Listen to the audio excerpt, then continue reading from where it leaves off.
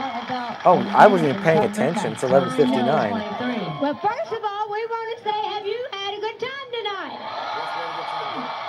I tell you, this is a thrill of my life to get to host the show with Miley.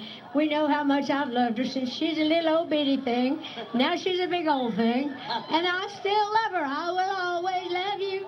That's how I feel about you and Dolly. To stand on the stage and bring in 2023 with my godmother and all of you here in Miami, it has been a privilege and a pleasure. And we that orange light have just loved the time that we've gotten to spend together. And you all brought us light together there. closer than we've ever been before. So we're grateful for that. Well, I really Is loved not only the parts that we got to do together, but Is we there a got, light hey, on we over got there? kids.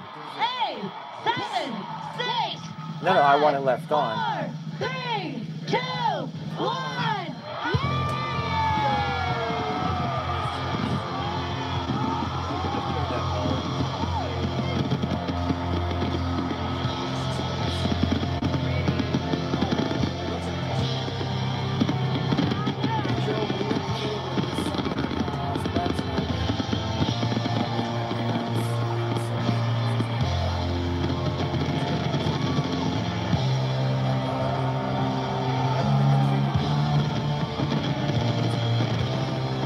No, we haven't.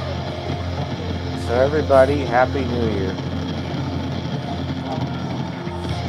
And uh, Sean, I am an electrical engineer.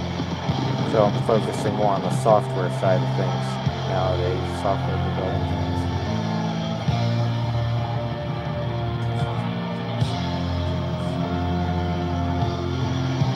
That's right. The CT100 will be 70 years old next year within a few time.